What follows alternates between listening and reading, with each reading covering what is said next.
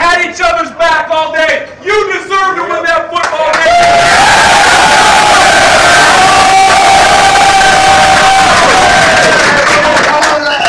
Take care of the program. We'll see you on Monday.